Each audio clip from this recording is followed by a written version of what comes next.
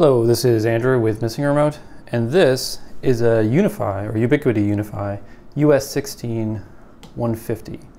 It's a 150 watt PoE or Power over Ethernet switch where all 16 ports are PoE. It also comes with two SFP ports, but they're limited to one gigabit. They're not the SFP, SFP plus ports. This is an older uh, UniFi switch, and you might be wondering why would you get the older version of the 16 port PoE switch? And the answer is because all 16 ports are powered, where the newer version, only eight of them are powered, and it costs the same.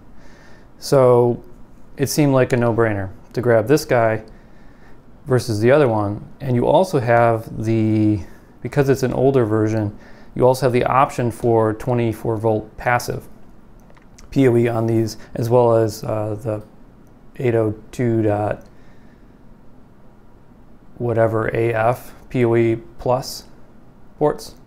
So all in, a much better, more versatile switch for the same price as what you pay for the newer layer 2 only uh, PoE plus switch. So let's get this unboxed.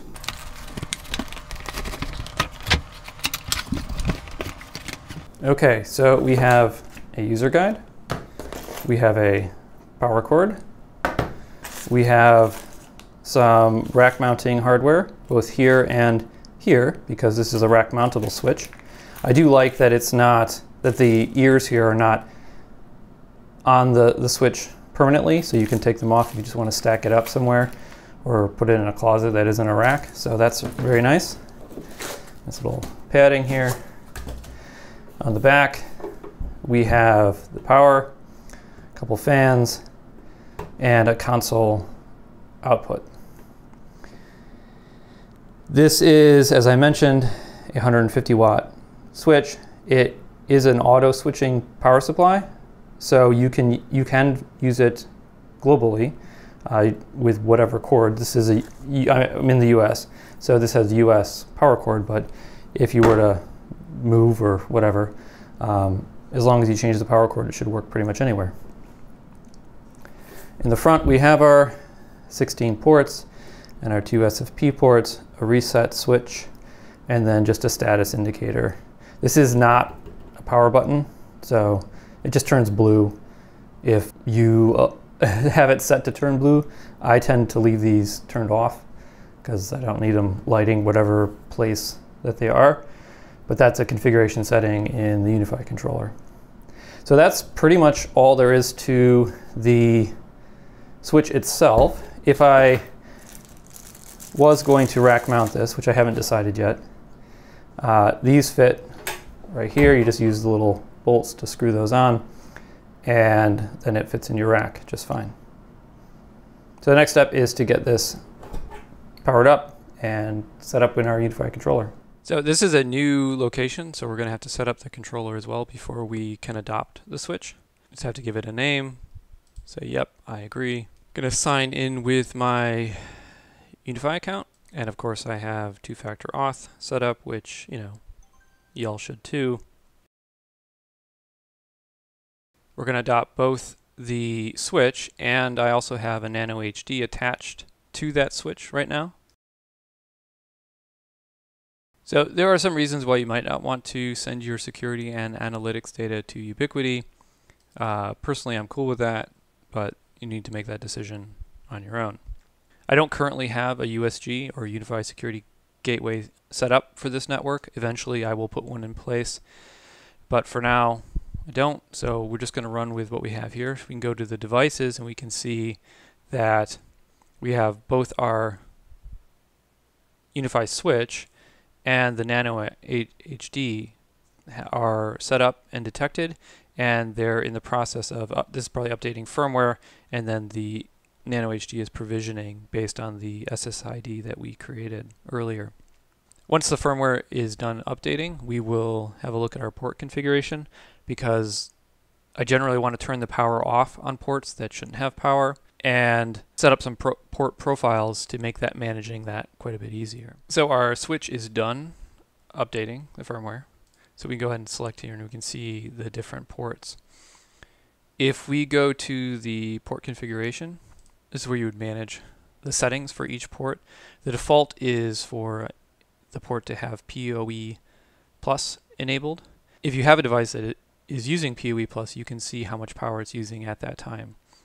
So this is our Nano HD, so we're going to go ahead and name that Nano HD. It has the all port profile right now. But we're going to go and create some port profiles and then assign them to this. I, I prefer to use all the profiles to manage it so I can just set all the, the profile to the port and have any change any future changes you make at the profile level instead of at the port level. So we're going to apply that so we can name the port so we can always know that port 2 is for the Nano HD. So if we go into our settings, make that go small. Let's go to our profiles. So switch ports, there's uh, three that are by default, which is all disabled and LAN. LAN is the base network. In this case, our LAN network is not set properly, but it doesn't really matter right now because we're not using LAN because we don't have a USG. But we're going to edit this just to make sure that we don't forget later. And the network that it will be is 10.0.1.1. I have it set up so that it's pulling that network right now from the upstream network. But I want to set this up so that it, when we eventually plug it into a USG and adopt it, it provisions that USG with the correct network information and anything that we do from this point on just will work properly. So you can see here that a lot of this stuff requires a USG. But the, again, the reason why we're doing this now is so that we don't screw stuff up later. So before we get to our port profiles, let's create a couple networks. So let's set up a guest network so that we can isolate clients, client devices that should not be allowed to see other client devices. And we are just going to start in the 2000 space with our VLANs. And this is going to be 10.0.2.1. So we're going to go 2002. 10.0.2.1 slash 24. Save. And then we're going to create a secondary network for semi-trusted devices. And this will be a corporate network, but we just want to isolate it from the main LAN network. And then our final network will be our IoT network. So when we get around to actually adding, uh, before we add IoT devices, we're going to create some firewall rules that will allow us to devices not on this network to reach into this network to talk to the devices there, but devices on this network will not be able to reach out to talk to devices on other networks in an unsolicited way. Okay, so let's create our port profiles. So we need a PoE port, port profile. So we want PoE, we want PoE plus. This will be all PoE. And this will be the one that we assign to our Nano HD. Say the native one is fine, select all, and save it. One thing to note is that as you add networks, you will have to come back to this place and make sure that you check it. But one of the nice things about this is that as you add networks, if you don't check it, it doesn't propagate throughout the network like it would with the all, the default all network. So sometimes I'll use a VLAN only network, which creates something like a, a, a virtual patch cable so that you can connect two devices on either side of the network, but you might not want that network to be exposed over your access points to devices that can connect to it, uh, just for example. Actually, I forgot to do one network. We're going to do one, uh, create a network for our cameras. And here we can, if we go back to our profile, we can see that our all PoE does not include cameras, which in this case is something that I want because I won't have I don't have any wireless I won't have any wireless cameras at the branch office. They'll all be wired cameras. So I don't want all of that camera traffic to be being sent to the uh, wireless access point, and I don't want other devices to potentially be able to, to get access to that uh, video feed. So let's go back to our switch and let's start messing around. So we want this guy. This is the uplink. And we're okay with this having all.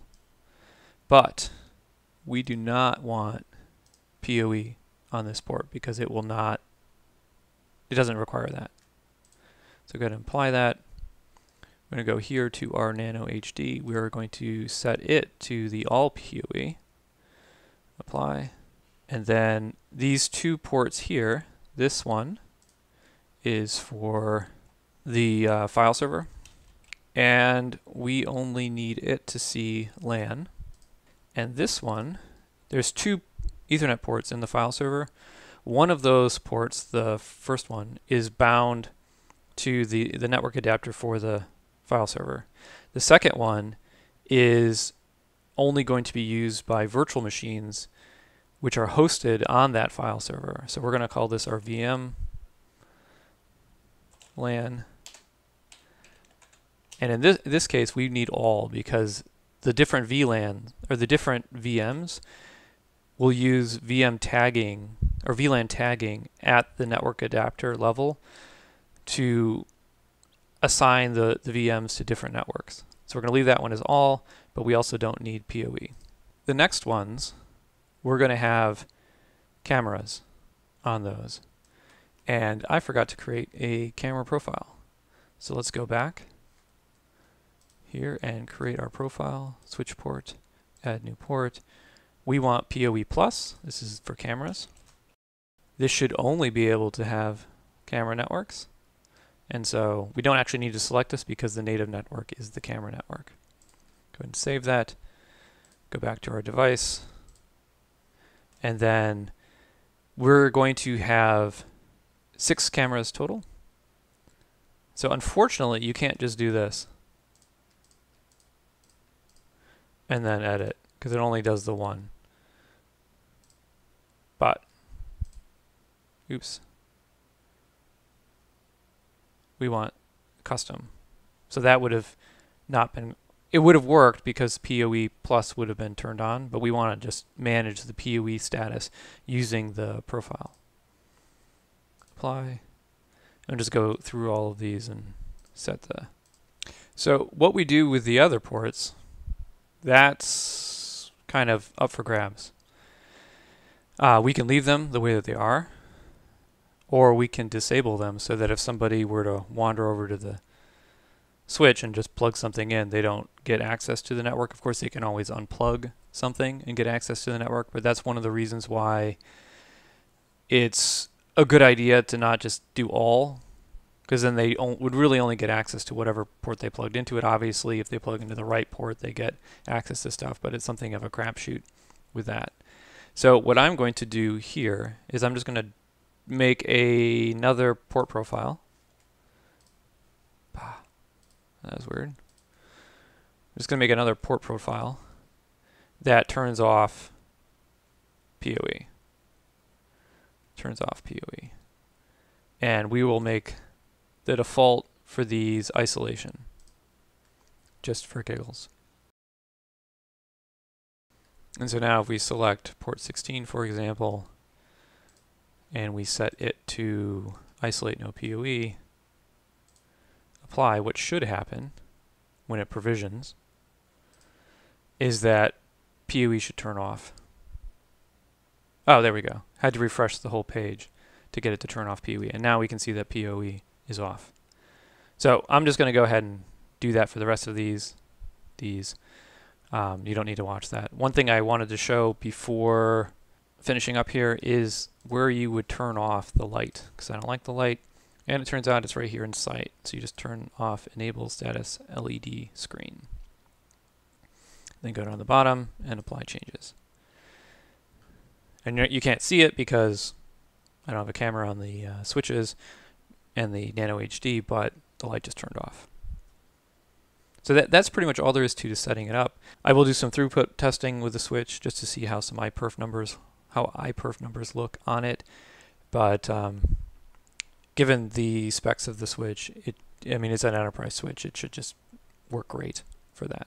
The last thing to note is that the US 16 150 watt switch pulls about 17 watts at idle. Uh, the total power power consumption will of course depend on how many PoE devices, whether that's PoE plus or 24V passive that you have connected to it, with you know the the number ramping up based on that. But the the baseline for the switch is about 17 watts. Uh, hopefully you found that useful. If you did, go ahead and like the video and subscribe to the channel. If you have any questions or comments, let me know. Cheers.